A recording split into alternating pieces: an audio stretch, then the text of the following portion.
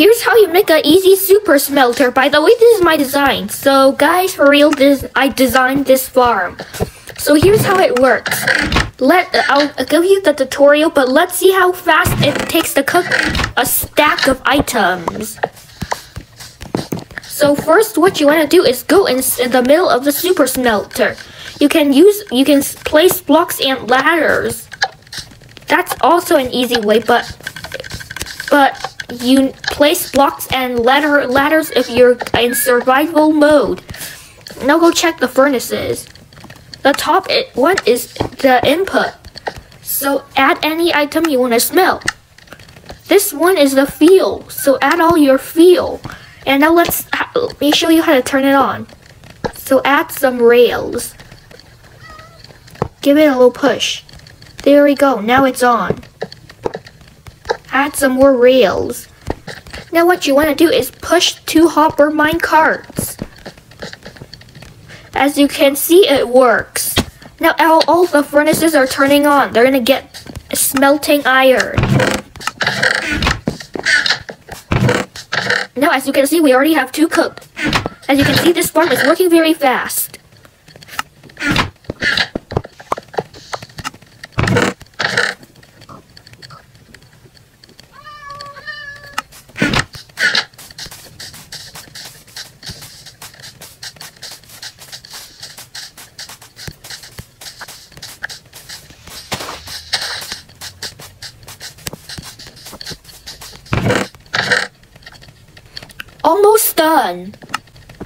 This farm is fast.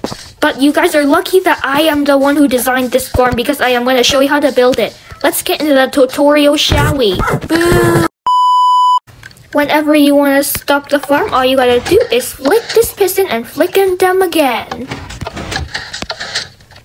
As you can see, this will stop the contraption. Make sure to remove the rails. You can pick them up and start the chamber again.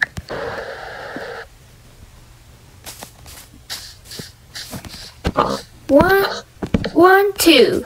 Now connect the line of hoppers. The line of hoppers can as be, be as long as you want.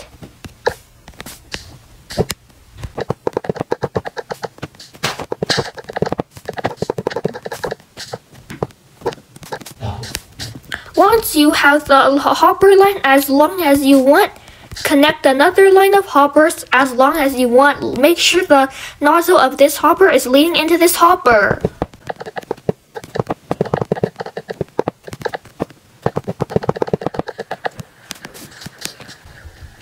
Now connect a line of hoppers leading into this hopper. What?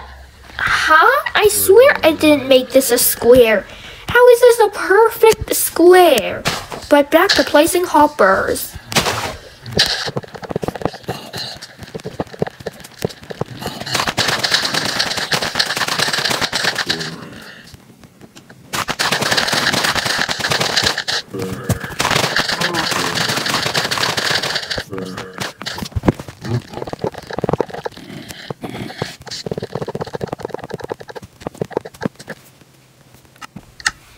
As you can see, that square should look like this. If you guys are in early games and don't have an iron farm, you guys can make the square a little bit smaller. And I'll place furnaces on top. Make sure to skip the corners like this. As you can see, don't place furnaces on the corners.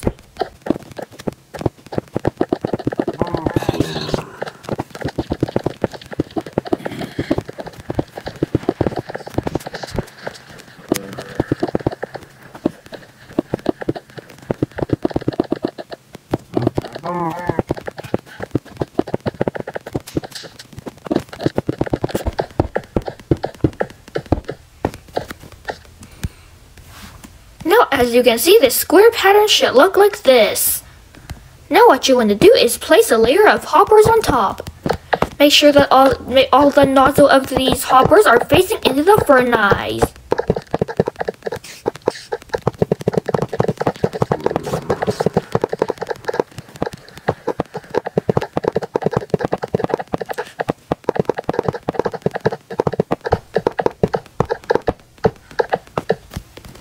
Now the farm should look like this.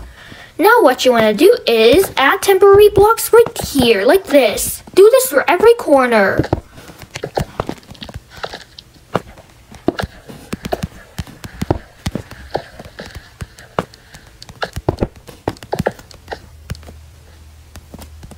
Now it should look like this.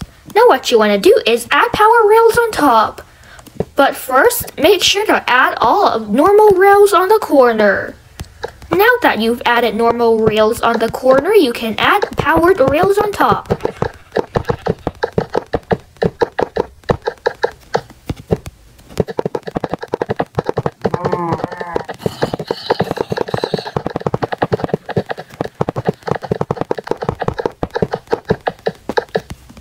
Now that you've placed all your normal rails on top, on top and also the powered rails, it should look like this.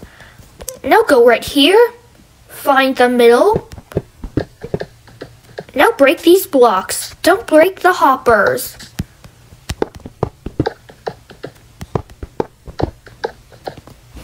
Now that we can place a block right here and a redstone block right here. We can place a block right here and a block right here. You can use any temporary blocks. By the way, the reason why we break three blocks like this and place temporary blocks like this is because if you don't know,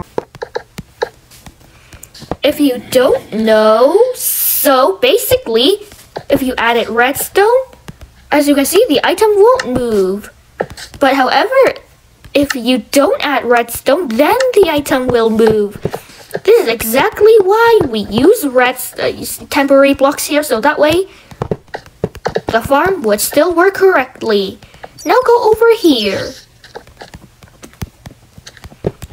Now do the same process again.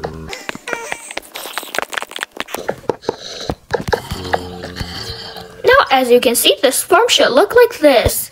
Now do this on every single side.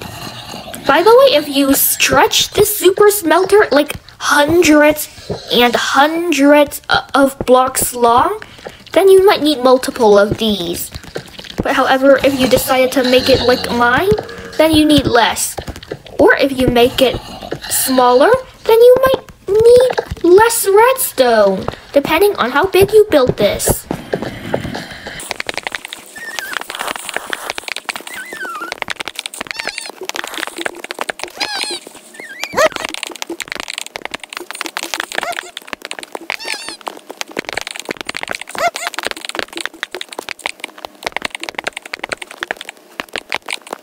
This.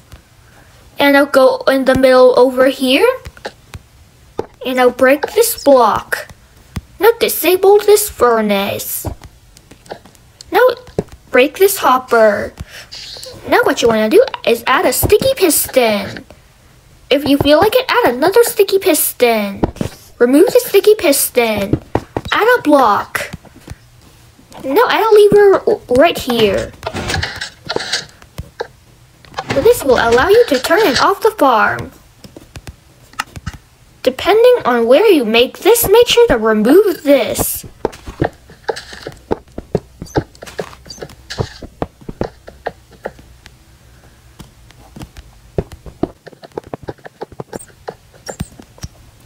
Now what you want to do is fill this in with solid blocks. Mm. Now you can add back your powered rails.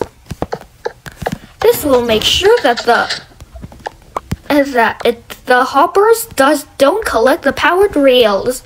This will clog up the system. You can replace back this, and now this farm should look like this. Go to one side. Now remove this. Remove two hoppers. Break these blocks. Crouch down and add two temporary blocks. Do this to every side.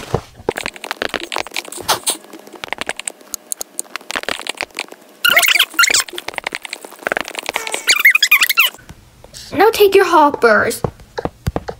Place two blocks out from each direction.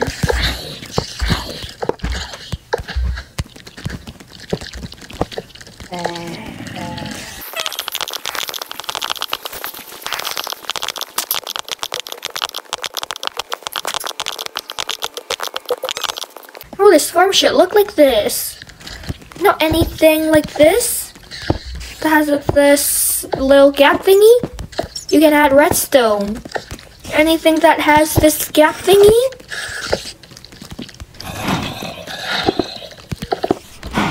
You can add redstone. This will make sure that it's powered. So if you have, so that way the rails are gonna be powered.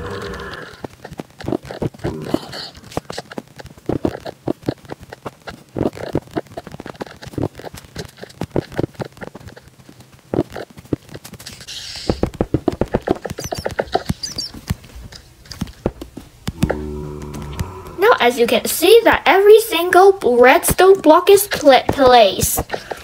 Now to every turn make sure to add a rail.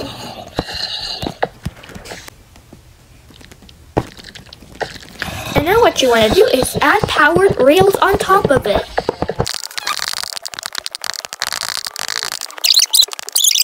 Now do the exact same thing right here. Disable this.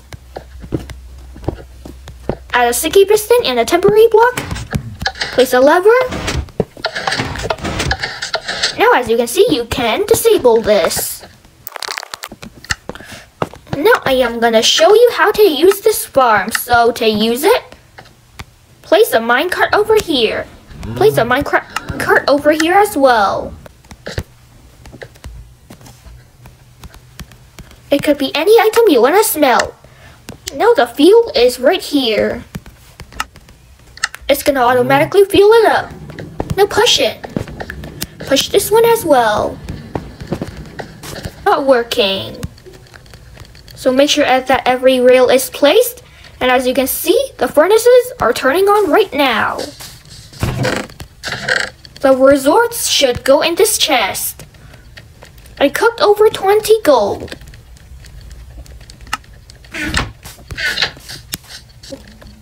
Is, it is very quick.